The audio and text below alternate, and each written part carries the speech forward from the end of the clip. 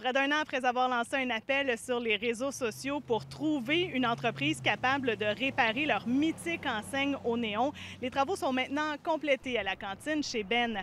C'est l'entreprise Enseigne Dominion qui a mené cette opération délicate qui a débuté cet automne et qui se termine aujourd'hui. Un travail de maître autant technique, électrique que artistique.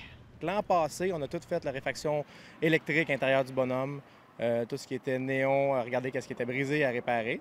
Puis, euh, quand le beau temps est arrivé, ils sont revenus, défait le bonhomme au complet. Puis là, ça fait trois semaines que j'ai quelqu'un dessus qui peinture, qui a le nez collé dedans avec un petit pinceau, puis qui fait tous les détails du bonhomme au complet. Si on prend le temps ce soir, là, ceux qui, vont venir sur place, de regarder les détails, les, doigts, les hot dogs, la moutarde dans la bain, il y a tout fait euh, au complet.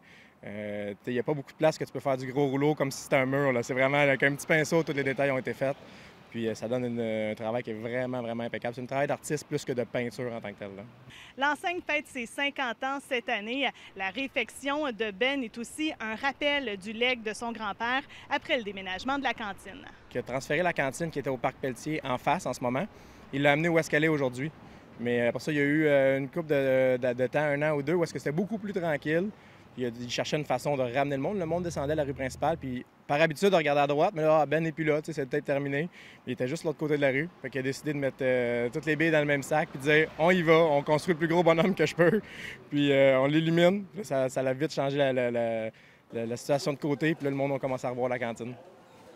L'ambiance sera à la fête ce soir à Grande-Bay puisque les propriétaires de la cantine chez Ben invitent les gens à assister à l'illumination de Ben euh, qui va se dérouler à 21h ce soir et pourquoi pas à déguster une bonne poutine pour souligner le retour de cette enseigne mythique de la rue principale à Grande-Bay. Jeannie Dandonneau, TVA Nouvelle, à Grande-Bay.